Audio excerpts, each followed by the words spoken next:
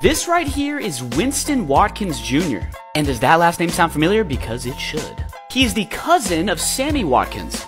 5'10, 160 pound wide receiver, attends IMG, class of 25, currently not even ranked by 24 7, but he's already got a few offers and is already committed to Texas A&M. He's like 14 or 15.